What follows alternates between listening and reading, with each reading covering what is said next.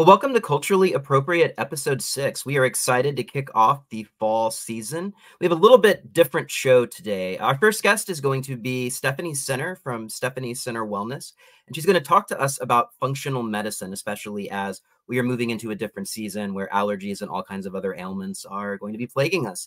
Next, we're going to do a post mortem on the summer blockbuster season with our special guest, Jay Curtis Miller, a local filmmaker. And finally, I will be giving the weekly film rundown, as always, as our last segment. So let's go ahead and get started. My first guest is Stephanie Center, and she has had a very interesting health journey. I wanted to bring her on the show just so we can vary what we talk about a little bit more than just movies and pop culture. So, you know, this is becoming a big movement, especially over the past three years, in terms of alternative medicines, holistic medicines, natural remedies, functional medicine. So, Stephanie, welcome to the show. How are you? Hey, Jerod. Thanks so much for having me. I'm so excited to be here. Well, I'm very glad you're here too. So, I want to begin with a little bit about your mm-hmm. story because when I met you about five years ago, you were an occupational therapist and then Mm-hmm. Over the mm-hmm. course of that time, you have sort of moved into functional medicine while starting your own business. So, what led to your decision to move from occupational therapy to functional medicine and all of these other cures and uh, holistic issues with health?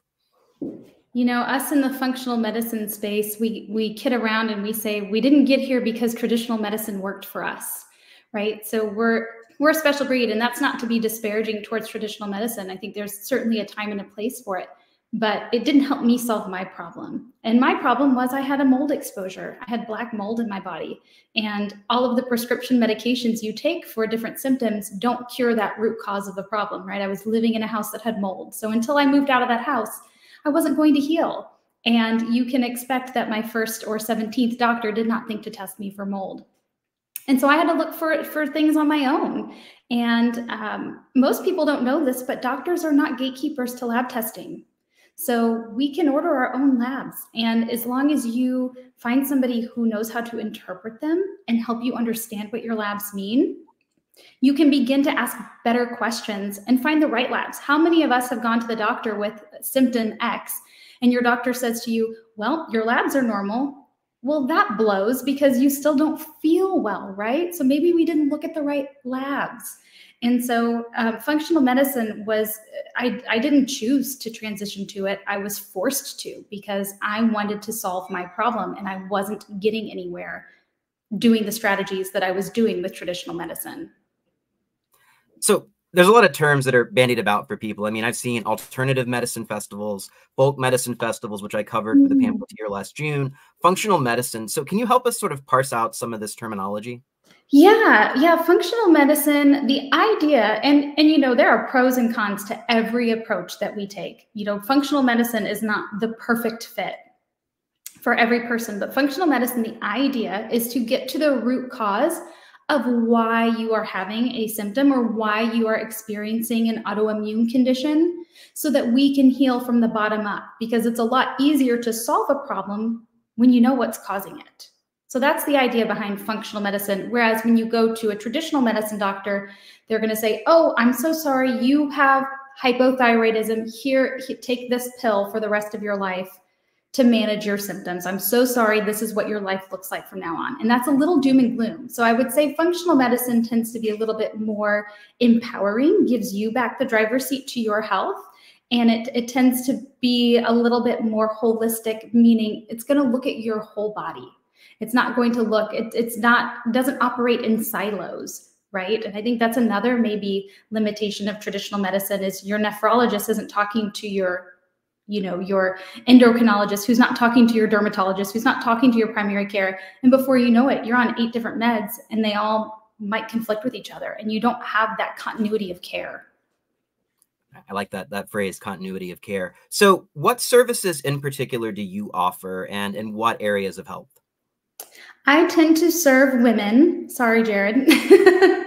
I need all the help I can get. So I I just have a heart for women, especially mamas. I feel like mamas just everything and they give give give all of themselves all the time and just kind of feel depleted but I, I focus on gut and hormone health because that's where i see the most opportunity for um, for growth for for women. I, I, feel like a lot of us with, and we can talk about environmental toxins all day long. That's a huge issue that really impacts our gut health, and your hormones are processed in your gut.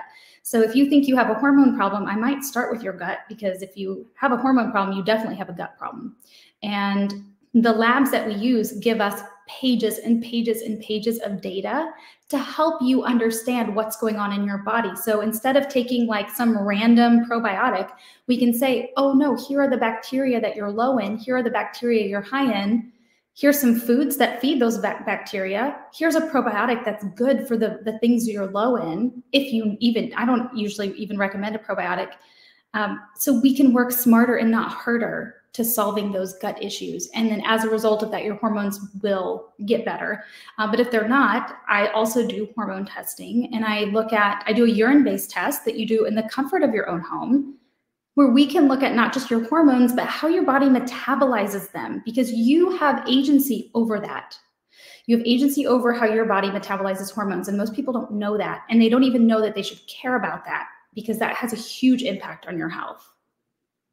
So, what type of clientele do your services attract? I mean, I know that there are some people that might be at the end of their rope after you know getting billed three hundred dollars for a random checkup, or are these people that are already kind of in tune with more natural solutions and in tune with or have an antipathy toward big pharma, or is it kind of a mix of, of both for you? Um, I would say I want to say I did data on this once. I think the average number of doctors a client of mine has seen before coming to me is seven that's the average number. Um, yeah, they're at the end of their rope. They're tired of being tired. They're tired of being told. A lot of them, a lot of women um, that I see have, they're kind of given, I hate to use the term gas gaslighting, but they go to the doctor because they don't feel good. And then they're told, well, it's all in your head because your labs are normal. There's nothing wrong with you. Go home. And that's so discouraging when you're like, no, I know I feel like something's off. Um, because it's it's really it's not in your head your symptoms are always valid no matter what no matter what your health concerns are they're always valid and maybe if your labs are normal we're looking at the wrong labs because if you don't feel normal you're not and that's something that davis and i joke a lot about that the pamphleteer would never have existed if it wasn't for the pandemic um, just because it kind mm-hmm. of the way that the pandemic was handled the way that the media covered it the way that doctors seemed to have this authority whenever there were these very basic common sense gaps in what they were doing really mm-hmm. affected us um, and why we started this publication and why Davis decided to start it invited me to become mm-hmm. a, uh, a, member of the team. So, how has the pandemic affected you personally and affected your business? And have you seen a large increase in people interested in your services since 2020? Hmm. That's a hard question to answer because I started in 2020 what I'll, what I'll say is during the pandemic, I don't know what it is. It, we we developed this us versus them sort of mentality as a culture in general, and that really broke my heart because I don't look at it that way. I, I will never I will never say it's me versus you. Um, I partner with physicians time, and I love them. There are some really good doctors out there. I would also say that uh, health is not a one size fits all. So if somebody comes to me and they have something that we find on a test that's very alarming, I have a handful of people that I'm going to refer them out to because I know my scope of practice. Um, I think that the pandemic was a wake up call for a lot of us to start taking better care of ourselves because we've all noticed that the pandemic hit the United States a lot harder than it hit other places. And i think that was an awakening like an, an eye-opening moment for people that hey we were already in a pandemic of sick people before the pandemic hit us and i think it's inspired a lot of people to take better care of their health and to want to have labs that have a little bit more meaning i joke and i call a basic metabolic panel a cya lab cover your butt lab for doctors because it's going to pick up on really alarming things. It's not going to pick up on things that lead to disease. It's going to tell us, are you dying? Do we need to put you in the emergency room or are you coasting? Um, and that, that's not the kind of facts that people want about their health, right? They want to know what's going on under the surface. What can I do? What can I be paying attention to now to prevent things in the future. I always tell my clients if you can learn to listen to your body when it whispers, you'll never have to hear it scream. And we are a society of just screaming bodies. And that's something still that I mean, we've not really had a major discourse about those underlying health conditions that caused so much problem in the pandemic. It was put on your mask, take your shot, we're going to get through this, everything's going to go back to normal. so it's a very frustrating, frustrating thing, I yeah. think, for, for society at large because it, it it betrays sort of the lack of care that we have for health and we look to experts to solve problems and that's it and we get the magic pill situation so um, it's interesting to me because i didn't know that you had to not go through a doctor to get labs. That's kind of groundbreaking news to me. So I'm sure that's the same for a lot of our viewers. Um, what do you think is the biggest misconception about what you do? That I'm woo woo or that I'm not evidence based, or I, I, think people see the term functional medicine or alternative medicine and think witchcraft. And, and I think that's an idea that's been put in people's heads from mainstream media. Um, I am completely and, and entirely evidence based. I do the same things that your physician does. I have a HIPAA compliant portal. I can order regular labs uh, amongst functional labs. Um, there is nothing there's nothing that I do that's not rooted in evidence. But I will also say I think there's a limitation to evidence-based practice in that it doesn't it doesn't allow for nuance and it doesn't allow for individual anecdotal healing stories. And I think those are also important. So I try to pay attention to um, different clients' experiences because what works for Susan isn't going to work for Jesse, which isn't going to work for Sam, right? It's everybody's, it is a customized. And I think that's what people are attracted to right now is this individualized, customized approach to care versus a cookie cutter system. So going along with that, what's your most popular service and what's your favorite service that you offer? Uh, I my bread and butter is my one-on-one private coaching. I love, love, love my women.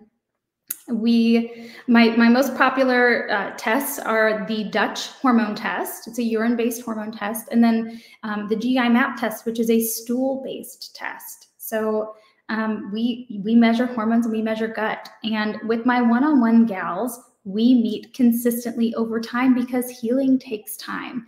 I don't have knowledge of results if I only see you one time. So I don't structure my sessions like a doctor's office where it's like, well, I'll see you when you don't feel well anymore or come back when when you feel worse. It's no no no no. We're going to see what's going on in your body. We're going to develop a plan and then we're going to reevaluate that plan over time because I don't think I'm going to have all the answers up front now. I don't put that I don't put that on myself to essentially play God and think that I can do that. I don't I don't think that's realistic of anybody. So it's it's a process and as long as you're in it for the ride and I am my guarantee to everybody I work with is I will 100% leave you better than I found you.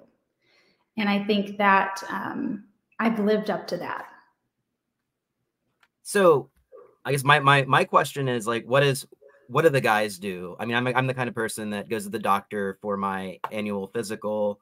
Um, mm-hmm. I almost cut my finger off, and I was still like, I don't want to go to the emergency room, even though it was gushing blood. So, you know, I'm somebody that's concerned about my health, especially as I'm getting older. Um, what is, is there somebody in the area that can kind of provide similar services as you for all the dudes in our audience? Yeah, so I, I do work with men.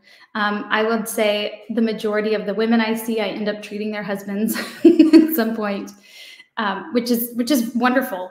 Um, there are some some men in the area. I um, it, it, I guess it depends on what you're what you're dealing with. If I think you mentioned seasonal allergies at the beginning. Um, there's a Vanderbilt physician, Dr. Basil Kahwash, who I really really love. Um, he's not holistic. He is as traditional as they come, um, but he's curious and he's hungry for knowledge. So that's what I really like about him. And he's collaborative in his approach. Um, if you're looking for a general practitioner, there are some other names that I could I could throw out for you if you have like show notes or something. Um, but uh, yeah, for for guys, I tend to look into the gut more than hormones. And gosh, what I find uh, but you know what? I, one thing I do want to say about these functional labs is there is no such thing as doom and gloom. because everything that we find in these lab results, you have agency over. You're not married to those results, okay? So if we find that you have blastocystis hominis, which is this ugly parasite, guess what? We can kill it. If you have C. diff, we can get rid of it. If you have um, really bad dysbiosis and IBS, we can solve that. So I, I, if you're listening to this and you're like, oh my gosh, I have all these things, all these problems, know that you have more power over your over your health than anybody's ever led you to believe. And I think that was the biggest lesson I had to learn leaving traditional medicine is I was I was stuck in this box thinking, well, these are my only options. And it's that's just not the case. Your body was beautifully and wonderfully made and is definitely capable of healing. In fact, your body wants to achieve what's called homeostasis, which is where things are evened out. Your body wants that, it craves that. So maybe your job is to get out of the way and just let your body do its thing healing. And think about that everything you put into your body is either helping it heal or impeding it from healing. And maybe evaluate the way you live your life through that lens.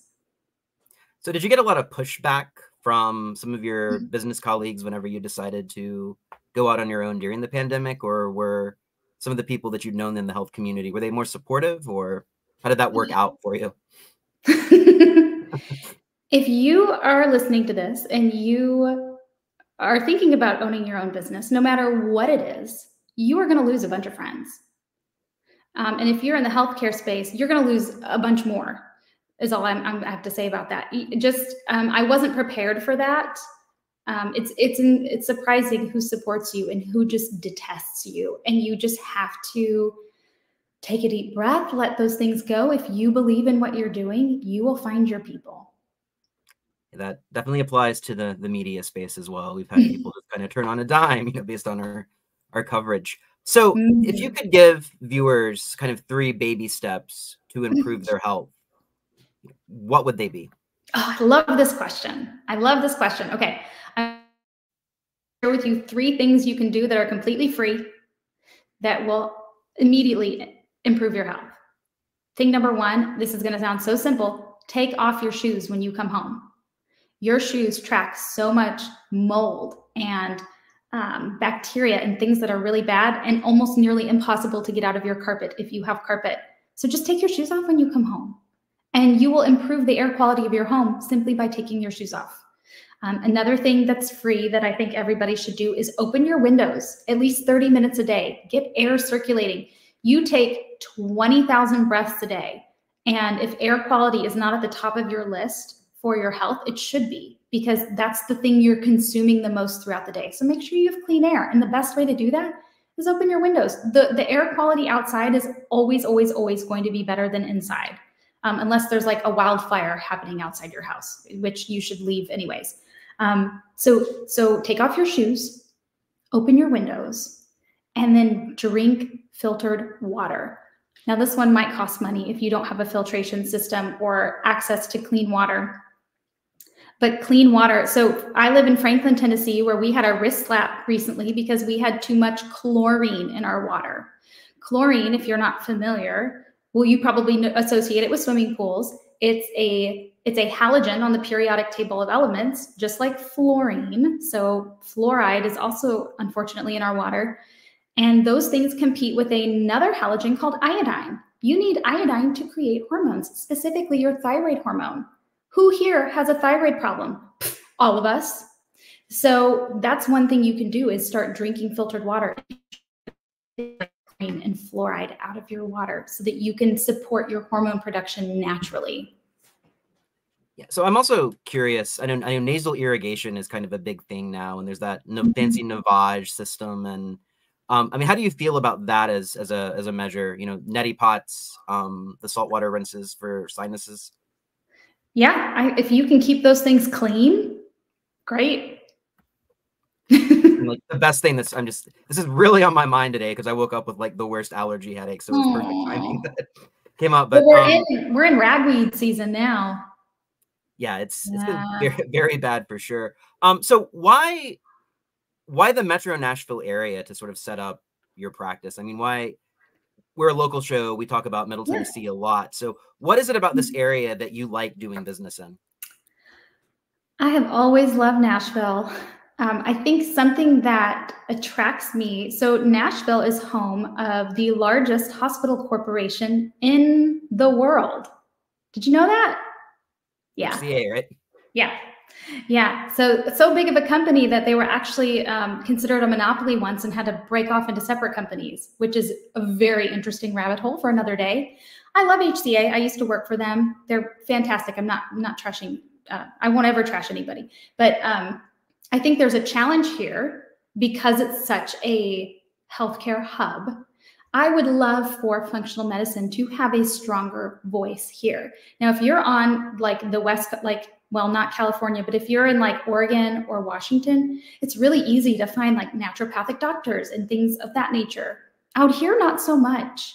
Out here, we have a smaller voice. And so, um, and I consider Nashville home. I, I'm not from here, but I've lived here for over a decade. And I, I want to serve the people in my community. These are my people, and that's these are the people I want to serve. So um, that's why Nashville. So, is there anything that is a barrier to the kind of work that you do in terms of the legal process. I know when I was living in Louisiana, I had a, mm. a friend that advocated natural alternatives and was, you know, had a had a degrees, had a doctorate, and he ended up uh, getting in trouble with the local authorities in Louisiana because of some draconian laws. So, mm. is is there anything here that could, you know, better the climate um, that legislators could do, or that legislators should maybe take another look at as they're coming into the General Assembly and thinking about bills for next year? that could benefit because mm-hmm. I know I mean we know that uh, big pharma is not exactly uh, they don't take a back seat to the legislature just like they don't take a back seat to donating medical school medical school right right right exactly so you know we we know our legislators are probably affected by big pharma but is there anything that is currently a problem on the books or something that you know you would advocate your local representative or senator yeah. address? Actually, and this doesn't affect me personally. Um, I'm pretty ironclad with my with my setup, but I do have some friends that are nutritionists, and it is even if you are certified, it is impossible to use the term nutritionist in the state of Tennessee because the legislation protects registered dietitians. And that is really unfortunate for anybody that practices nutrition. So you'll you'll you'll notice this now. Anybody that practices as a nutritionist is going to call themselves something else. Whether that's like an unregulated term like hi, I'm a nutrition practitioner or you know something like that. Um, they'll have to go by a different title because the term nutritionist is reserved for registered dietitians and um, that's that's really unfortunate because registered dietitians, just like occupational therapists and physical therapists, we are all taught under the traditional medicine umbrella. And in my experience, and this is not true, this is a generalized statement, not true of everybody. The registered dietitians that I have worked with don't tend to know a lot about nutrition. They know a, a lot about how to titrate peg tube feeds for patients in the hospital and progressing different diets, but they don't know what sulforaphane is and how that can help somebody with estrogen dominance. They don't know what that is. But our nutritionists do because they have totally different schooling. So it's, um, I, I think that is unfortunate, and I have hope for the future there. I also kind of want to just tell people that are nutritionists hey, just call yourself something else. Nobody cares. If you can help them, they don't care what you call yourself. So maybe we can just I mean, if I if I'm on that vein, like, can we call occupational therapists? God anything other than occupational therapist as the worst title for a job ever? Because nobody knows what that means. Can we call ourselves something different while we're at it? Anyways, mm. but yeah, so that would be if, if legislation could be a little less harsh on on job titles, I think that would be helpful. But you know what? We are a smart generation. We are going to figure out how to help the people that need help, regardless of some of these stupid policies. Yeah, I mean, and I have heard people think an occupational therapist is a career coach before, you know, mm-hmm. some kind of the definition of like forensics as being forensic anthropology and also like speech and debate. But I mean, yeah, I can see how that could be an issue. And I know that there are a lot of, of kind of draconian, ridiculous licensing regulations in Tennessee that make things just harder for small business owners as well. So I think it's something that we really it's it's not fun politically. It's not something that makes headlines, but it is something that would probably make the lives of the average Tennesseans better if we actually got a handle on it and somebody was bold enough to go into the weeds and figure some of this stuff out for sure. Oh my gosh, if you're listening, please support a small business in Tennessee. Tennessee is very very hard on small businesses. It is it is it's incredible. There is no course in any school that you could take that could teach you what you would need to know to successfully run a business in Tennessee. It is very very challenging and it's, it's something we just overlook with all of these big ticket culture war issues and we just waste time on it during the regular legislative session because i mean it's important to people but it doesn't grab those headlines and it doesn't doesn't seem sexy to people to deal with this kind of stuff but it is you know it's incredibly what, frustrating. you know what is sexy to people? Like how good our economy would be if we all just supported small businesses I mean, I say this in my own practice. Like everybody wants to talk about hormones because that's the sexy topic, but it takes enzymes to create hormones and it takes minerals to create enzymes. So let's talk about minerals and then we can enjoy the hormones conversation. That's how I feel about small businesses in Tennessee. Like let's support the small businesses and everybody's economy will be better. Which we all we all inherently know that. We just sometimes you just need to hear it again it doesn't really really do well on X or Twitter, I guess, as well. Um, so how do people find you if they they're interested in your services? We've got yeah. your website up. We've been showing it during the show, but yeah, thank you. Yeah, I'm Stephanie Center Wellness on Instagram. That's probably the best place to find me, and my website is stephaniecenterwellness.com. I'm Stephanie S T E P H A N I E Center C E N T E R, and yeah, that's me. Great. Well, thank you so much for joining us today. This has yeah. been a, little bit different conversation than we usually have, but I'm, I'm, I'm glad to open up our our show to other topics as well. And I know that our listeners got a lot mm-hmm. out of it. So I will see you soon. Thanks so much. Thanks, Jerod. Bye bye. Good one. Bye.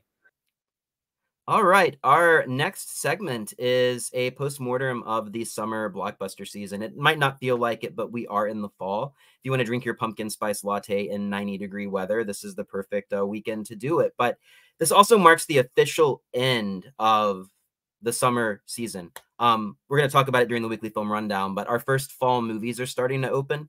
The film festivals where all of the Oscar bait uh, debuts are in full swing right now. So all of those serious fall movies, some of the best that are going to end up on my top 10 list, I'm sure, are about to come out. But this summer has been incredibly strange for Hollywood releases, especially. So I'm going to bring on Jay Curtis Miller, local filmmaker, to talk about some of the uh, weird trends of the summer box office. And I think we are actually going to jump over to Easter weekend and just kind of go through some of the uh, the major hits and misses of the season. So, Jay, how are you doing today?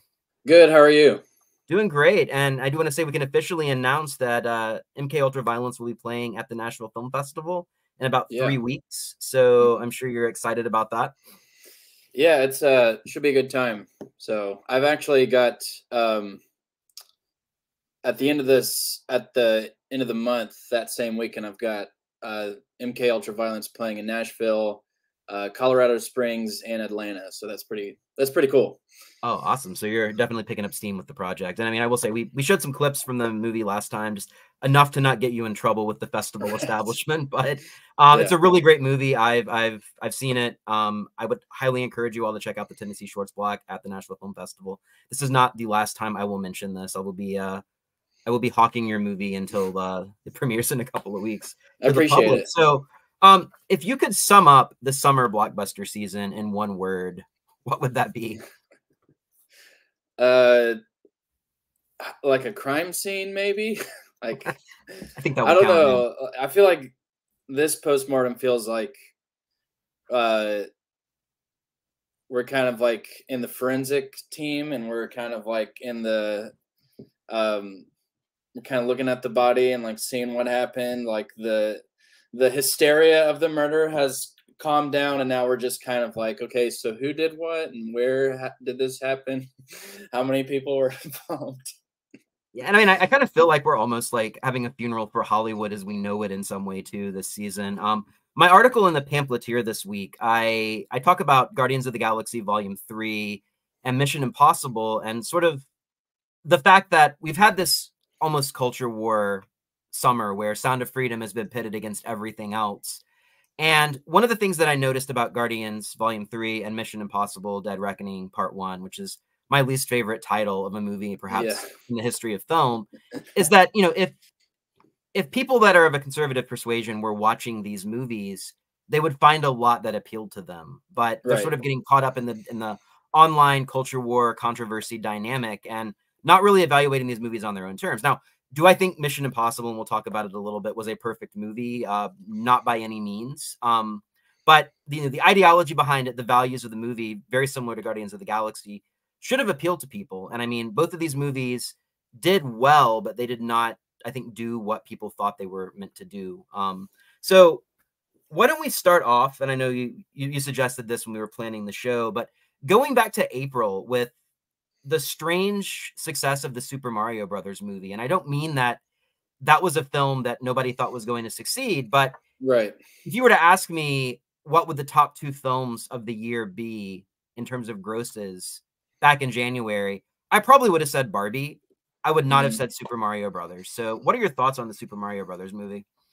I mean, like, I don't really have a lot to say. I, I didn't see it in theaters. I saw it with my uh, my nephew and my niece like a few uh few months ago, and it's it's good.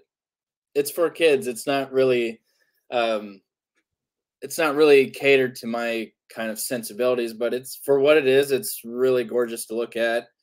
It's funny, and it's got a decent amount of heart in it at the very end, especially. Like I, I felt like the ending kind of saved it from becoming just like a like I, I've only seen like maybe the first Despicable Me at, from Illumination, and I just kind of felt those movies were always pretty safe and bland. And this is fairly safe. I wouldn't call it bland, but I, I feel like there's a really good arc for Mario at the end of the movie that kind of justified me I, I I don't know watching it. I mean, I love Mario and I love Nintendo, so it was kind of fun to watch, but it wasn't really.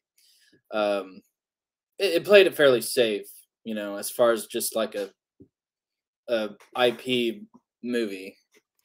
Yeah, I mean, and what I liked about it too was that it didn't really feel like they were trying to promote it as a franchise. I mean, they had the they had the post credit sequence, but it seemed to be a very contained story, and it wasn't trying to like set up Mario as the next big thing. But my question is, you know, Barbie film fans knew it was going to be an interesting movie because Greta Gerwig was directing it.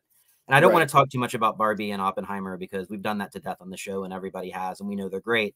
But you know, I, I knew that movie was going to make a lot of money. Margot Robbie famously said that it was a billion dollar movie. But why do you think Super Mario Brothers made over half a billion dollars at the domestic box office? I mean, this movie's huge. Right. Um I think it's just uh obviously kids I don't know, Mario's really popular with kids of like any generation. Going back to like I think he first was like created and released into a video game in 1985, I think. And ever since then, it's just he's been able to spawn multiple generations from Gen Xers, millennials, and Gen Z to play Mario games. Uh, you have that. The animation really is gorgeous. Like it's colorful to look at. It's beating Pixar to death. I haven't seen a Pixar movie since Toy Story 4, and from what I've seen, and the very few, like I really haven't been paying attention, but from what I've seen the past few trailers, the animation just uh, looks the same. And, and with Mario, it's just really colorful, powerful, and fun. Um, and just like I do think to some extent Chris Pratt is a bankable star, but it just depends on the on the movie. And I think people may have wanted to see it out of curiosity. And then you have like people uh, who played these games in like the 80s that probably also saw it out of curiosity. So I don't know. I, I really do think mainly just the kids went to see this one. It was just a good excuse to like um, spend Easter weekend, you know, taking your all of your kids and your kids' friends and all of them, just packing them up in a van and seeing this movie. So Yeah, and I mean, I feel like it, it wasn't a movie that was, you know, trying to cater to an agenda or anything like that. It just it told its story, it knew its story, and kind of the secret weapons for me. Where Charlie Day as Luigi was amazing. I mean, I just I loved the voice, and then Yeah. the existential Kirby that was just kind of yeah, yeah. it was Kirby, right? I was, I'm not. as, Um, um, I don't know. I see. It's already kind of like I'm already starting to forget a little bit of it. yeah, yeah. I mean, it's uh, definitely not, not not Toy Story level here, but it was a great time at the movies. Yeah, I um actually remember seeing John Wick 4 for the second time when the weekend that this came out because I think John Wick 4 was the weekend before this. And the, the theater was packed and I hadn't seen it that packed in maybe since Spider-Man No Way Home, maybe. And I was like, "Oh, that movie's making a billion dollars." And it was like just Saturday and there's just like lines of just kids just waiting to see this movie. So, which is great. I mean, I think preserving that theatrical experience for kids is also something that you know the communal aspect of movies. So, speaking of Chris Pratt, um, you know, Guardians Three is kind of the unsung hero of the Marvel universe because it did what it was supposed to do in terms of box office. Like it, it grossed around the same as the pre-pandemic Guardians entries. Um, mm-hmm. I thought it was a really interesting movie myself, just because of the fact that it really is a movie that treats bureaucracy and people claiming to do something for the greater good as the villains of the film. I mean, social right. engineers are the Thanos. I mean, Marvel kind of has a track record of doing that, but that's what I talk about a lot about in my my essay this week in the pamphleteer. So, what were your thoughts about the new Guardians? Well, I, I still haven't seen this one yet, and I've I probably am a product of like not really caring about MCU anymore or the MCU um, I don't. Yeah, I guess I just missed this one, and I heard great things, but there's just something about like, um, I guess just supporting Marvel at this point where I'm a little bit more hesitant these days. Um, not just because of the all the political discourse and you can talk about that to death, but just the blatant like.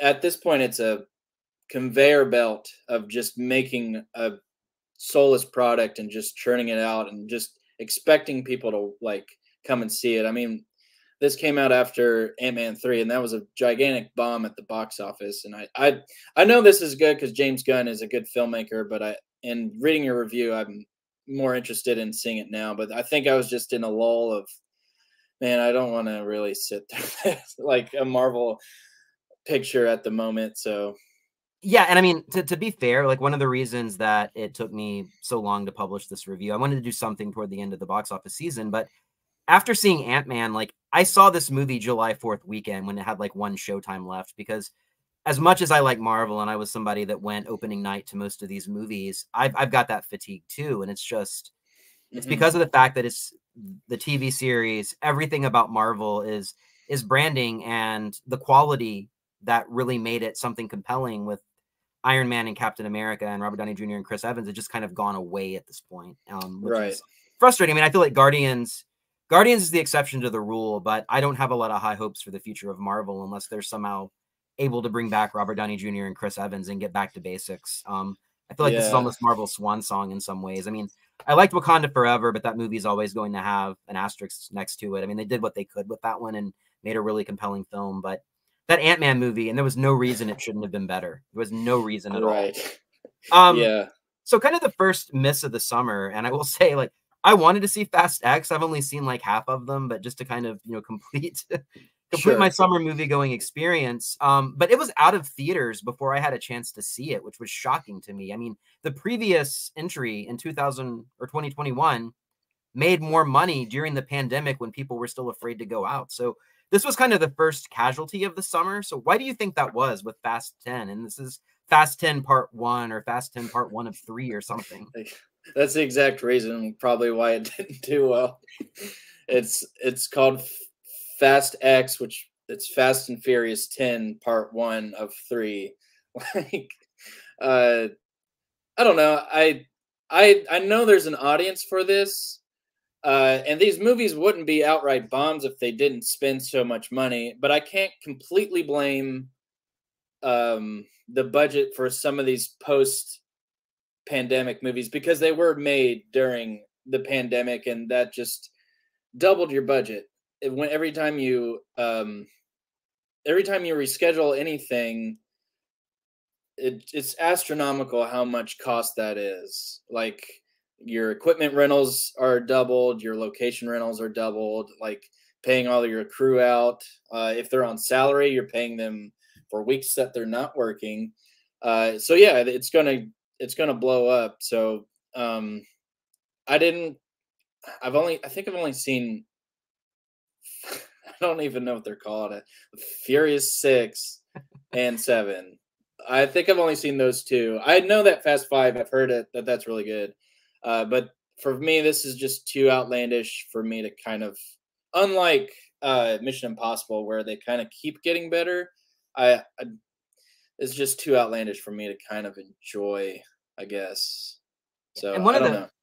one of the striking things for me this summer, one of my best movie going experiences was at the Clarence Brown Film Festival um, that happened in Knoxville about three weeks ago, and a lot of that festival was restored silent films, and there was Mhm. one um, called The Signal Tower.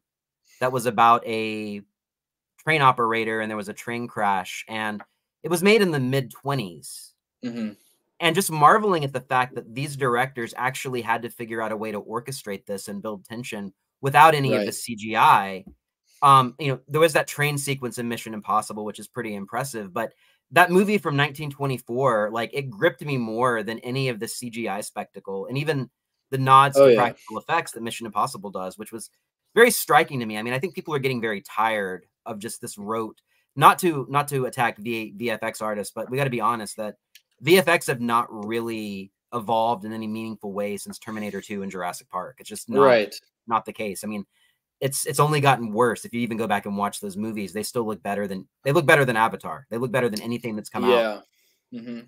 Um The Little Mermaid was probably one of the the break-even success stories. It did very well uh, oh, during Memorial Day weekend here in the United States, but there were a lot of other countries that it just completely bombed in, and the the reason was racism. Um, I don't know if you saw this one or not, but I did. It was utterly serviceable. Um, Okay. I've completely forgotten about it. Um, Right. I've, I've not really felt like a lot. I really like the Dumbo live action, the Tim Burton one. I thought was a really just dark, interesting movie, and Okay. I'm a big fan of Kenneth Branagh's Cinderella. But I just can't bring myself to care about any of these live action Disney movies as anything but a cash grab. I don't know what your feelings are about that. I don't think I've seen a single one. Uh, maybe I've seen clips of Aladdin on the TV uh, when my nephew was watching it, uh, and then uh, that was more reason for me to just not check out any of the rest of them. I, I had an interest maybe in seeing Beauty and the Beast.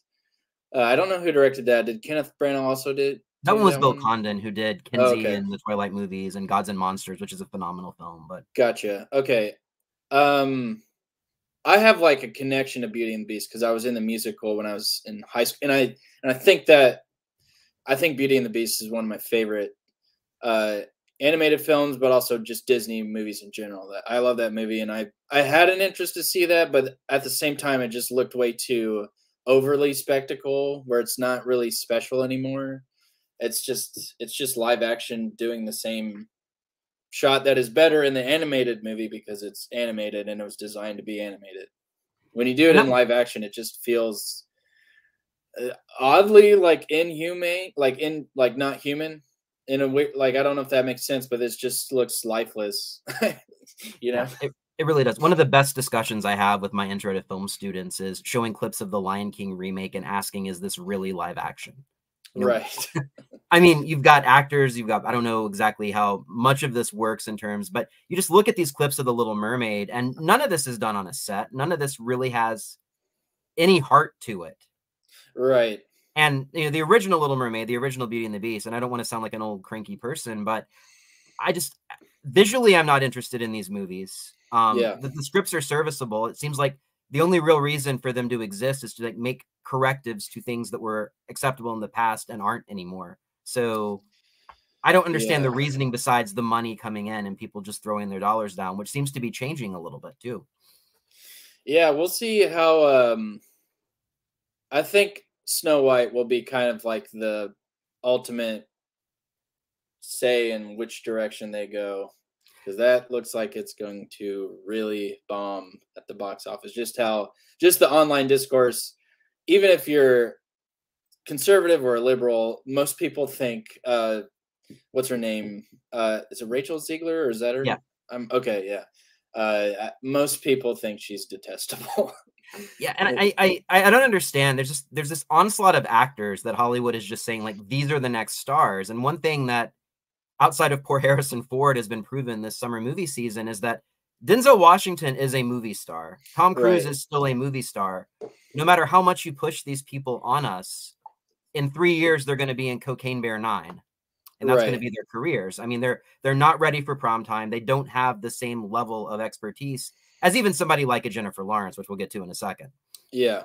Uh, uh, years ago, I don't know if you watch uh, Red Letter Media or their show Half in the Bag online, uh, but when they reviewed Creed, one of the guys on there was stating like, it's so weird watching uh, Sylvester Stallone act with Michael B. Jordan because Sylvester Stallone just there's something about like the actors from the 70s era and how much charisma they have compared to the millennials now and like it is like it's so apparent even like um you know with harrison ford and phoebe waller-bridge there's just such a divine line of like star power and whatever that is I think that's that's great. I mean, that, that's somebody that I think, and we've had a lot of discourse about this on Twitter. Just someone that is really forced down your throat, who has yeah now ruined the Bond franchise, the Star Wars franchise with Solo, and Indiana Jones is probably the biggest massacre of her entire career. Because right I don't see how that recovers. Like we would have been better off with Shia LaBeouf as Indiana Jones in many ways. So yeah um one of the movies that was the big surprise for me of the summer, which I don't know why it didn't do better, was The Machine with Bert Kreischer. Did you happen to see this one? i i think that was in the box office for like a day I, It was. I don't think i even had time um but still i'm not sure if i would have seen that because i'm not a huge bert kreischer fan in general Yeah. uh but how was it and I, I wasn't either. Like I'd seen some of his bits. Um, and then uh, Jimmy Tatro, who was also in theater camp, it plays the younger version of him. This is it's like Pineapple Express to me. Like it's that kind of comedy that's really not made anymore. Um, hmm two really great examples of this are the Machine and Bottoms from this summer, and I feel like both of those should have been. You know, maybe Bottoms might have a more uh, an audience that has a little bit less broad appeal, but I was just I was frustrated this movie did as badly as it did because it's it's hilarious, it's inventive, um, it's, Yeah. it's very very sort of like mocking and self-deprecating about his persona in general as this kind of oafish guy, okay. and the action scenes are really well directed. So I okay I would recommend when this is out on streaming that anybody take a look at it. I mean, I don't think it's something that I could pontificate about intellectually in an essay for the pamphleteer, but I enjoyed the hell out of it for Okay. sure. Um, you know, a couple of other movies that I wanted to talk about, and I've talked about a little bit. You know, we talked about Transformers on the show in my discussion of the writers' strike. Um, Mhm. I also, you know, want to mention that Spider-Man Across the Spider-Verse was another one of these three hundred million dollar grossing movies that Yeah. it seems like everybody saw and was really solid, really beautiful, but it's not really been talked about that much at all this summer. So, you know, even though it did so well, why do you think that it almost has like a 97% audience score and critic score on Rotten Tomatoes, but I don't hear anybody like talking about it in the same way as Barbie and Oppenheimer, even though plenty of people saw it. So, do you have any any insights on that? Uh, I I'm not sure because that's um that's interesting. I did see this and I, I quite enjoyed it. Um, and a lot of people didn't like the cliffhanger aspect. I love a good cliffhanger, especially if it's like um kind of like a two-parter. I'm for some reason if it's done pretty well, which I think it did do pretty well in this. I, I mean, it makes me want to see the next one. Uh, but I don't know. I think I mean, I think you're kind of like kidding to yourself if you don't think that there is any sort of superhero fatigue. Like, I feel like people are trying to say that there isn't one. I mean, if this did fairly well and it was like kind of like the talk of the town for the few weeks that it was out, um, or like when it first came out and everybody was talking about it, um, yeah, I don't know. Like, I don't know. It's weird. Yeah. And I mean, you compare that to a movie like The Flash, mentioning superhero fatigue. That Right. I mean, that was one of the ones that I saw pretty early in its run. And as much as I love seeing Michael Keaton as Batman again, I mean, I I know we've had this discussion of the Flash as like you see it as like a Michael Cimino Heaven's Gate level disaster for Yeah. Hollywood. So do you want to talk about that theory of yours a little bit? Sure. Well, there's a, a difference between uh, the disaster of Heaven's Gate, which I just read uh, the latest, the new, um, the only auto, uh, by, sorry, the only bi- biography on Michael Cimino called Cimino. I just finished it this week. Um, so I've been really heavy into that whole kind of like um, historical aspect of Heaven's Gate. But the difference between Heaven's Gate failing and the Flash failing is no heads are going to roll from the Flash. That's the kind of cultural difference I feel like. Like Andy Muschietti is going to have a career after this. Like he's going to like I mean, he's like contracted to kind of defend this disaster of a movie, but like Michael Cimino, he did. I mean, he had a career after it, but it wasn't really lustrous. So he didn't really have like a second chance to really prove himself of who he, um, of his talent as a director, and he's completely maligned by everybody in Hollywood, and it still is to this day. Um, but I don't know, like I, it's it really is like watching the Hindenburg in like uh, in real time. Like I when I saw it, and I've kind of come back around to it. I kind of like had it on Max like a few nights ago, just like revisiting some of the scenes, and it's not that bad.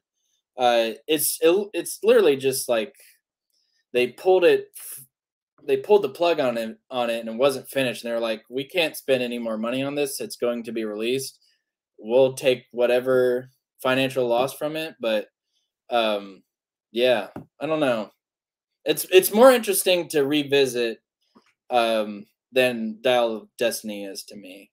Like I think this is more of a fascinating failure than Indiana Jones Five because this should have like this should have worked. I didn't think it was going to fail that that horribly at the box office. Like I knew I don't I don't know if I thought it was going to reach a billion, but I certainly north to 800 million, you know, and, and and it's also a good example too of what happens whenever you put these actors who have a lot of gravitas, like Ben Affleck and Michael Keaton, against someone like Ezra Miller, who in Justice League was great for quips and one-liners against all of yeah. these other actors, but it shows such a danger of turning these people into stars before they've earned it. I mean, we we can compare this to some of the you know really great millennial actors like Kristen Stewart, Robert Pattinson, and Batman, who kind of earned his place and and developed his craft before yeah. he took on a role like this, and audiences responded much better to that movie because he was ready at that point in his career to yeah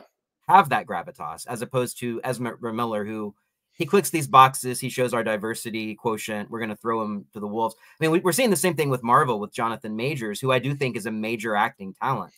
I but, do too. I mean, he was somebody that was thrown into this multi-part deal and turned into a celebrity before maybe he was ready for it as well. So this is something right the combination of these marketed stars and the franchises might be proving to be a disaster. Mm-hmm. Um, I do want to talk about Elemental and Indiana Jones since you mentioned it because these were the two movies that famously lost nine hundred million dollars for Disney this year, along yeah. with Ant Man and the Wasp. Um, both of these movies premiered at the Cannes Film Festival in May, which you know is the major event of the year for film. It's going to launch all the international Oscar contenders, and it backfired completely showing this. I mean, they, they were hoping for a Mad Max Fury Road effect where the screening was going to be stunning for both of these movies. And both of them did very badly at the box office. Neither has crossed 200 million at a time when the last Indiana Jones made 400 million and Toy Story, all the Toy Story movies have made 300 to 400 million as well. So, yeah. do you think audiences are just tired of the Disney aesthetic, or do you think that there's something more going on here as to the failure of these two films in particular? Um, with Elemental, which I haven't seen, but by just by looking at this, the animation to and we're watching this on like a live stream, so it's compressed a little. But even when you're playing the Mario Brothers trailer, that those the animation on that looks so much better than this. Um, I think there is a DeSantis effect, especially on the Pixar and like the Disney children um kind of like um like aspect to that. I think like some parents are just like not taking their kids to see Disney anymore. And which is fair, I guess, like depending on where you lean, but um I think there is like an effect from the Florida all that sort of stuff. I mean, I mean, we've already kind of talked about Indiana Jones, but I mean, that just it's a movie that should not have been made like just as simple as that and definitely should not have cost that much to make uh, it's in, insane to me like just how astronomically big that budget was. And again, that was shot during COVID. And um, Harrison Ford, I think he broke his shoulder or he threw it out or something. Like the first one of the first days of shooting, which pivots your scheduling and all that sort of stuff. But I do think there is just a general like lack of quality coming from Disney. I don't think there's been a movie that's come out that's original that has really I don't know, entered the zeitgeist in a way because it's all been IP since like like 2012, you know? Yeah. I mean, you, you had like Frozen and Encanto, but even those, I mean, Encanto did horribly at the box office and kind of only mm-hmm. found its footing because people were still afraid to go to the movies. And Elemental and Indiana Jones are kind of the big bombs in the Flash. But we also have to look later in the summer to the movies that you know nobody really saw because all of these still made over a hundred million dollars. But we have Blue Beetle that came out three weeks ago that is just no one is concerned. Nobody cares about Blue Beetle. No. Um, I mean, despite my massive lifelong crush on Susan Sarandon, I still haven't seen this movie. Um, I haven't either. Uh, and then the Haunted Mansion, which was another movie that literally no one saw. I mean, it made 60 million. It's made less money than the Eddie Murphy version did in 2003, not adjusted for inflation. So yeah, both of these were films that were just complete and utter disasters. Um, but we did have some bright spots to the summer, and one of them I think was No Hard Feelings with Jennifer Lawrence, um, mm-hmm. which was a gross out comedy that made about 50 million it was a movie that really did show, and I'm, I'm not a, a, fan of Jennifer Lawrence personally. I find her very grating in interviews. Um, sure, I can't deny that she is ridiculously talented. Um, yeah, and you know, to me, the fact that she made this movie and she has that hilarious nude scene that everybody's talking about, um, right? I just what I couldn't figure about this movie is why that didn't translate into like the water cooler talk that one would think a movie like this might have. I mean, this is a movie in the vein of Knocked Up. It's not nearly as well written, but it still works. The screenplay yeah. is serviceable. Um, I would watch it again. You know, it's not a movie that I would, you know, keep in my comedy pantheon or anything. But why do you feel this one did well, but it didn't really break out in the way that it maybe should have? Um, I feel like it would have probably done well 10 years ago. Like, um, because that was kind of like the end of the whole like gross out comedy like Judd Apatow era when he was at his height. I think um I don't know. Maybe we're like just as a general movie going audience, like people are have been like like I don't know how to say this, but like programmed to just not see comedies anymore. Like just to go out and see a comedy. I don't know what that says about our culture like um but i don't know like i just don't think uh we get a, enough comedies these days and i don't think like a, get enough good ones that are worth seeing but in general like there's just not much i don't know like i can't remember the last time i went to see a comedy in theaters but i kind of consider barbie one which i felt like was kind of a return to like big budget comedy. I mean, there's more going on in Barbie, but I do feel like that is considered kind of generically speaking a comedy or broadly speaking. And one of the interesting things that happened is like the teen movies that were so popular in the 90s sort of morphed in the early 2000s and especially after the recession into the Hunger Games and Harry Potter and Twilight. So, yeah. I mean, do you think there's a way forward for like the studio comedy of getting butts in the seats again or do you think that Barbie is going to be the future of comedy where it's these high concept massive blockbuster properties. I hope I hope it's not that. I, I don't yeah. think any I don't I really don't know. Um I, I think what it might have to take is for kind like so I mean this is kind of like connected, but um the trailer for Thanksgiving came out yesterday, I think, for Eli Roth's new I, I guess horror movie, but it might be comedy. But Tim Dillon is in that. And I hope like I hope that does well, and I hope like he just gets he is primed to make a comedy right now, like just a guts out Dumb and Dumber Tommy Boy esque comedy where it's just ruthless, it's funny. He does he says whatever he wants. Like it, it'd have to take someone like of his stature of that kind of like um I guess like post Joe Rogan era of like comedians but then again, like the machine didn't do well, so I don't know. It's tricky. Yeah, I mean, and, and I think that movie uh, that's really the one outside of The Exorcist. That's the one I'm really looking forward to this fall. Aside from some of the the Oscar type movies and the serious cinema that's coming out from some of our, our, our great auteur directors. But yeah, um, you know, maybe maybe the fact that it is horror will will kind of push that, and the fact that it is a holiday movie. I mean, Eli Roth is one of my favorite directors. I think he's a really underrated presence in the film scene. Right. Um, you know, we did have toward the end of the summer, even after Barbie and Oppenheimer, a few movies that did really well. So I mean, you know, Ninja Turtles was a franchise that should have been exhausted, but still drew an audience. The Meg, mm-hmm. even though that it was kind of a, uh, a, step down in quality, if that's possible from the first one, which I love as a guilty pleasure. And yeah. then Equalizer three is doing great numbers. Um, okay, all three of these are. Why do you think? If we were trying to chart, say people are sick of sequels, people are sick of reboots, people are sick of all of these things. What do you think it was about those three movies that defied conventional wisdom?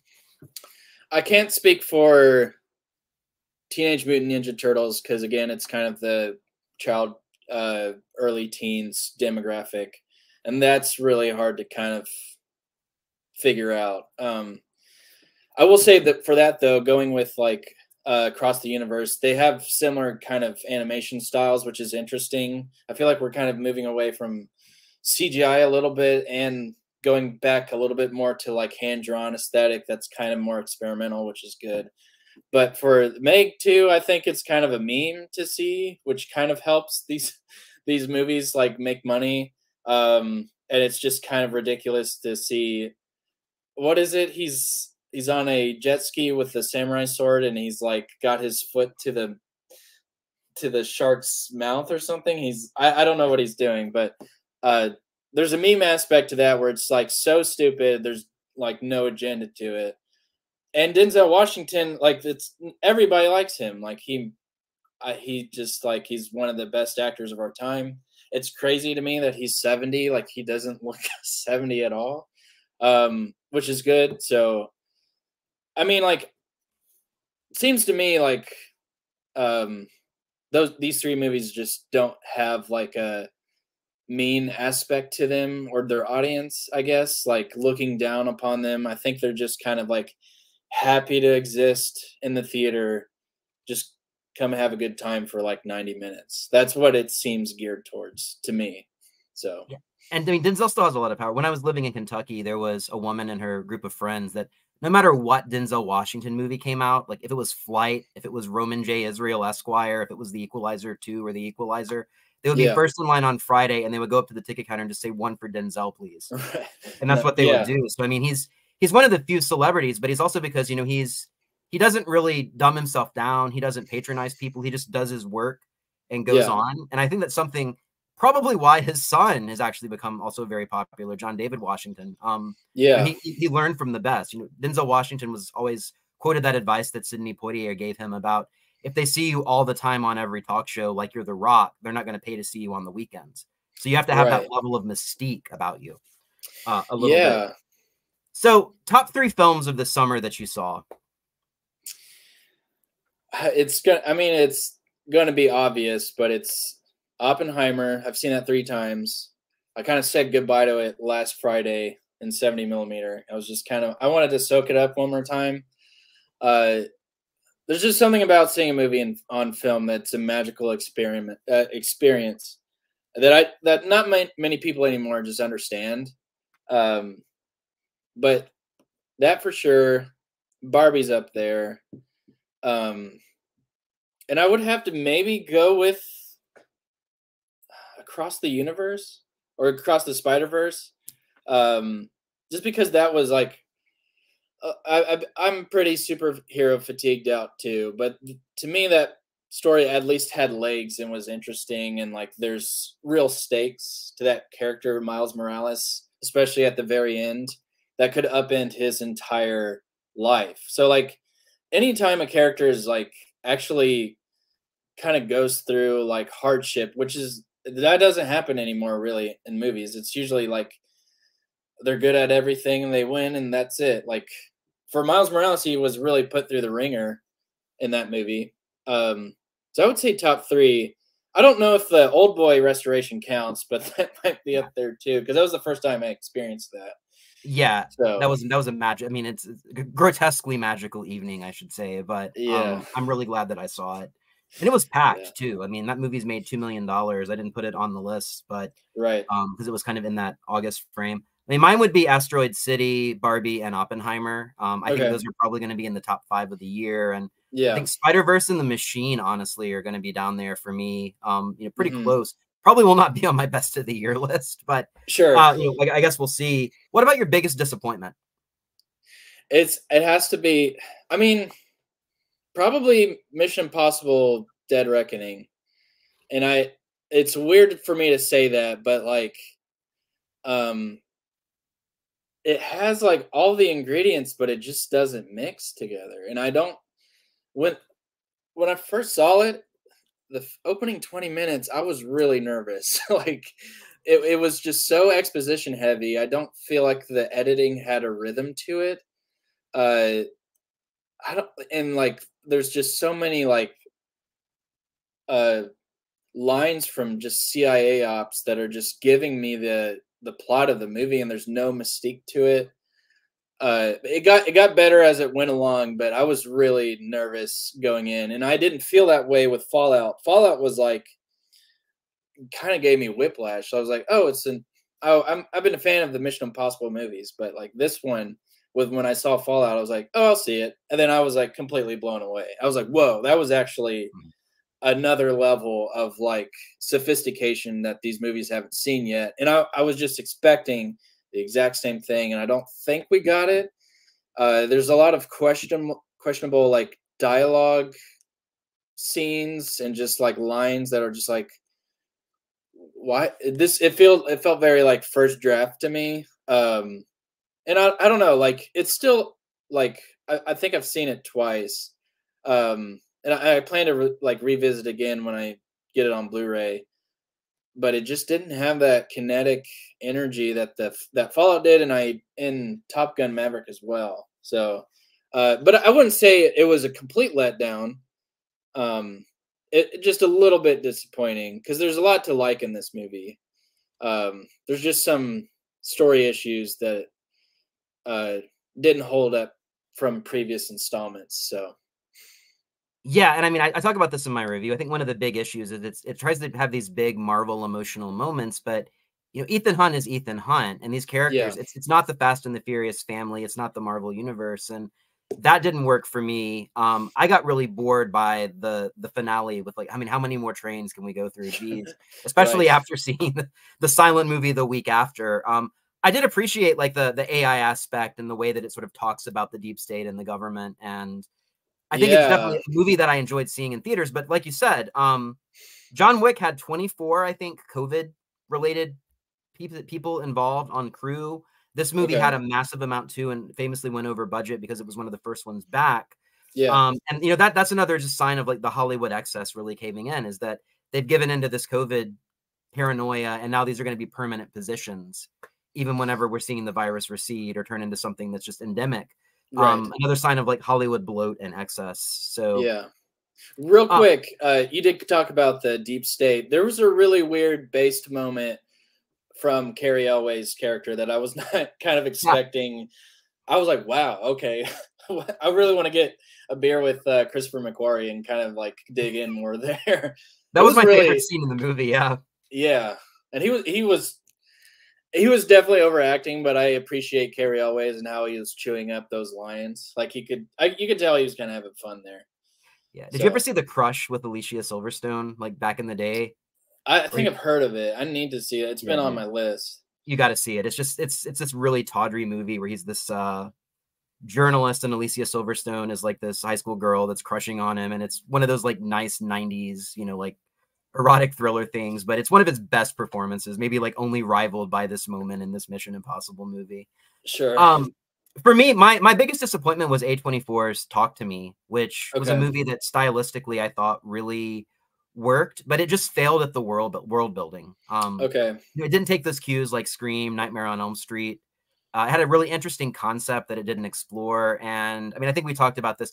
It seemed like a, a direct-to-video Blumhouse movie that was just a little better Oh. directed than some of its worst. Um, you know, this is not The Exorcist or Halloween or that like Get Out high quality level of Blumhouse, and it just begged for more story. So I was, I kind of walked out of this really ambivalent and not liking it at all. It might have hurt that I saw Oppenheimer in 70 millimeter right before, but Oh yeah. um, you know, still, I just it did not work for me, and I've heard a lot of people say this, and I did want to mention that because this is now A24's highest grossing horror movie somehow in the middle of, even though it was released a week after Barbie, like it's done very well with audiences. Um, Yeah. So yeah, that's that's I think a really great summer postmortem. Um, I know you said you wanted to stick around for the the weekly film rundown. So are you excited for the Nun too? No. uh, I've I, s- I've seen the first Nun. I was like on a date, and it was the most boring thing I've ever seen, and I can't. And it's like making a sequel to the most boring horror movie I've ever seen. So I'm not gonna. I am not gonna check that out. Yes, and this is our big release this week. I mean, I'm probably going to check it out because of the fact that it's, you know, I at least want it to be fall. You know, I want to get my my Halloween decoration out, but it's it's another one of these the Conjuring multiverse. Why do we need a Conjuring multiverse? Why don't we just have a really great horror movie and then a director makes another really great horror movie? Um, well, um, real quick, and this was part of the. It was kind of part of the summer release season, but it was just dumped on VOD. I haven't seen it yet. I almost did. I turned it on, but it, it said like Halloween 2023, and I was like, I'm pausing this right now, and I'm watching this in October because I'm not gonna watch this in the middle of summer. But Cobweb, I've heard, is really great, which is Yeah. it's kind of depressing to see something like as generic and bland and forgettable as the Nun 2. Um, I mean, I haven't seen it, but I'm pretty confident with that statement. And something like Cobweb, which is making the rounds on like film Twitter as like something that's really, really good at, in terms of like Barbarian, which kind of like was one of my favorite movies of last year. Um, so it's just kind of, I don't know, like take a chance and release that movie. Like there's a thing called a sleeper hit. Like it's not gonna if it doesn't if it's a good movie and it doesn't do on its first um, weekend, it could potentially, depending on the schedule, you know, make more money and be a hit. So Yeah, and the stu- they, they released it the same week. Lionsgate did, which I mean, I'm I'm personally pissed off about because I have stock in that company that is just Oh, okay. me right now. But they released Cobweb the same day as Barbie and Oppenheimer. Like, what did they think was going to happen? And the reviews Yeah. have been great. I've heard people talking about it. I've not gotten a chance to see it yet, but it's it's it's frustrating when something like that comes out, and then we've got a weekend like this one where the two big releases are the Nun Two and My Big Fat Greek Wedding Three, which I heard you pre-order tickets for back in June, right? Like, you're just I didn't ready even to know see there's my big a, fat Greek wedding three. I didn't even know there's a my big fat Greek wedding two. I like I that's news to me. I, I'm I didn't even know this movie existed until last night when I looked at the uh, lineup. I was like, okay, but again, like I don't know. I, I think um, I don't know what the m- numbers were on uh, Barbarian last year, but I know that it. I mean, it was a hit, obviously. Um, can't remember his name, but uh, the director of that got a really big payday with his upcoming feature. So Zach Cregger, yeah, um, clearly that was lucrative, and I think I don't know if you have like an original movie like that that can play to that can tap into like not just like horror fans but uh general movie going uh audiences like it can be a hit so i'd i'm if you release that this weekend instead of and along with these i'm pretty sure it would do decent yeah, and this is the So- Weekend Barbarian came out last year and really surprised people. And then yeah right after that, we had Pearl, which is another amazing horror movie last year. right Um, you know, my my picks this week are very slim just because of the fact that these are our wide releases. Um, the movie I'm really excited to see. I mean, I'm I'm not excited to see it. I know it's going to be just like a slog, but it's going to be a brilliant piece of art. Is The Eternal Memory, which is a documentary playing at the Belcourt. Um, it's about a Chilean cultural commentator who is suffering from Alzheimer's. It's a documentary, and it just looks like it's going to be a really brilliant movie about something people don't want to talk about and want to deny. But Right. in terms of the Belcourt, you know, as, as as much gruff as we give them sometimes for some of these pandering movies they release, Sure. I'm really excited also to see that they're going to be spending the next two months revisiting William Friedkin's films. Um, yes. Starting with Sorcerer this week, Cruising, yep. which is one of my favorite movies of all time. Mm-hmm. Um, and then we've got The Exorcist coming up. I mean, are there any other ones in this that you're planning on seeing? Uh, the only one that I haven't seen is Bug. So, I mean, I'm probably going to go to all of those. Uh, I rewatched uh, Sorcerer, French Connection, and Cruising recently um, since his passing. Sorcerer is is the OG Mission Impossible. Like, if you want to talk about ha- being on the edge of your seat, it's one of the most insane stunts. I, I maybe ever like it's not real. You you don't think of it as a stunt because it's just this massive truck trying to get over this wood right there, that wooden rickety bridge over a in a storm uh, um, over a river. But it's it's tense, and it happens twice. so uh, yeah, I William Friedkin, he's a big influence on me. Uh, he's one of my favorite uh, filmmakers, not just from his films, but from his personality. He um, was kind of a raconteur, provocative, uh, very pro- provocative and extremely opinionated, which is like, you know, we don't really get individuals like that anymore that are really opinionated about uh, their art or other people's art or what they think is bad or good. Uh, and if you disagree with William Friedkin, he'd be like, okay, sure. Like he wasn't like really, you're, he'd probably be like, you're wrong.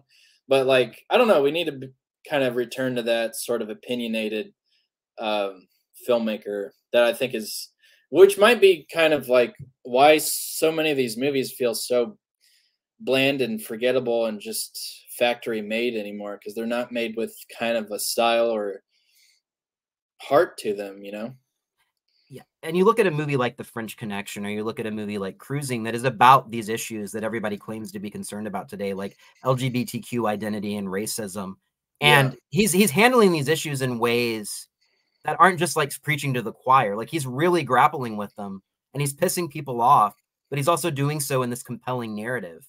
And no one does that anymore. Right. And we, we act like now all of a sudden this is the first time we're dealing with these issues in cinema. And so I hope that this retrospective of Friedkin's work really proves how bad in general filmmaking is these days and why. Um, right. The other the other major, which I'm also happy to see, tribute that the Belcourt is doing is the tribute to Paul Reubens, aka Pee Wee Herman. I was advised mm. by my wife not to make a joke about going to the bathroom in the middle okay. of uh, any of these films, um, sure. but I just did anyways. So, yeah. Um, what really struck me though is I was reading more about Paul Reubens for the rundown this week, and you know he's he's got a pretty sketchy past, and I mean I'm not going to begrudge an artist for that, but it's strange to me that you would never see in you know the next 10 years when Woody Allen and Roman Polanski died, despite how seminal of filmmakers that they were. I mean, you know, Paul Reubens in his own way for children's television. Pee Wee Herman was that level of shot to the system. But yeah. I don't expect to see many Roman Polanski and Woody Allen retrospectives coming up. So why do you think Paul Reubens gets that pass given his sort of sketchy history with um, you know, some what some would say is sexual deviancy, um, especially like in the Sound of Freedom era, right? The OK Groomer era. Like, yeah, why is this socially acceptable? I mean, I personally think I'd love to see retrospectives of all three of their work, but sure, you know, why, why this particular, um, why is this passable? I don't know. I so i am ashamed to admit I haven't seen. Uh, I didn't grow up on Pee Wee. I kind of missed that era. Um, I think I might see Pee Wee's Big Adventure tomorrow in 35 millimeter for the first time. I've never seen it, but I do know just from like um, kind of like film commentators or YouTubers that I follow, like that are kind of more in the Gen X. Uh, he probably had a similar effect to um, Mr. Rogers in the fact that like he, he was such a staple as Pee Wee for their um, childhood, and like to this day, most people like when they go th- through like Tim Burton's um, filmography, it's like still Pee Wee's Big Adventure is like still lauded at, as his best movie, which is insane to me. Uh, so there's just definitely just kind of like a nostalgia there that I think people are will that it positively impacted uh, their lives as a kid. So it's something you can kind of I mean, I, I know loosely of his deviancy, but I don't think it's nearly as bad as like, I mean, Roman Polanski. So it's like something that you can easily, not easily, but like kind of like put aside and just like look at the artists themselves and the Im- impact that they had on the culture at the time, uh, and still do. So I think that's uh, to answer your, your question there. Yeah, and I mean, I'm I'm looking forward to recatching some of these. I think the interesting thing is Blow with Johnny Depp was a movie they didn't pick for this, um, even though that is probably Paul Reubens' best performance outside of Pee Wee. He's just amazing in the movie Blow from 2001, which I would have loved to have seen in 35 millimeter at a retrospective like this. Um, we've got some yeah. other entries from the Belcourt this week. Um, there's Kokomo City, which is a movie about um, black trans sex workers. Um, there's going to be a special presentation from a community activist. So you know where all the white liberals will be this weekend. Um, sure. I'm sure the movie's going to be fine. Um, it looks actually yeah. pretty visually compelling. I'm going to take a look at it. Something that I do want to mention this week that just kind of blew me away trailer wise is this new Hindi movie called Jawan. Okay. Um, that's been a massive hit in India, and the trailer for it again. This is the closest to an 80s action movie we're going to get. I mean, you can look at the style of this movie it looks completely off the wall. It's got that RRR vibe going to it where it's just this like sure. amazing action with some depth and some actual craft behind it. So, mm-hmm. you know, if I've got the two and a half hours to spare in the next uh, week or so, I'm really looking forward to this. It's playing at AMC Thoroughbred 20 and Regal Hollywood 27. So, um, so yeah, is there anything in the fall besides Thanksgiving you're really looking forward to seeing? Um, well, I didn't know that this movie was coming out, and this is more less of the fall, but uh, in December. I think it's just called The Bike Riders from Jeff Nichols, who I completely. He's one of like I think he's one of the best filmmakers working today, and then he just disappeared for almost a decade. So it's exciting for me to like um, see that he's coming out with what looks like a banger with um, uh, Austin Butler, Michael Shannon, kind of like his typical uh, collection of actors there. Um, that looks really riveting. Um, I'm hesitant to maybe see The Exorcist Believer. We'll see. I don't know. I'm probably not gonna like it. Um, and then, I mean, I forgot. I, I forgot there's a new Saw movie coming out. I if that movie's better than The Exorcist Believer, then I'm. I don't know what to think of David Gordon Green. So I'm a, I'm a ride or die David Gordon Green fan, so yeah, I'm hoping. I, I, loved what he did with Halloween. Um, I'm also really looking forward to Priscilla, the new Sofia Coppola movie, and right. Exorcist, obviously. So, you know, I, I, guess we'll see. We've got some of these actually coming up early screenings during the Nashville Film Festival, which you know, thanks yeah. to your your past and your time there, you're going to be able to probably see with me at various mm-hmm. times. Um, yeah. So yeah, that is our weekly film rundown. Let's hope next week is better. Um, sure. I, I really hope next week is better. But uh, if not, and you really want to get out to the movies, just maybe go to the Belcourt this weekend, see Sorcerer, see the documentary. But if you really want to go see my Big Fat Greek Wedding three and the Nun two, then by all means go do it. Um, yeah. We'll not be seeing either of us there, I would imagine, at least right. this week. Uh, so yeah, that is our show for today. Jay, thank you so much as always. And uh, you know, we'll be talking about Nashville Film Festival a lot over the coming weeks. So that's our show. Thanks so much for uh, joining us today. And whatever you do this weekend, give it some thoughts. Bye.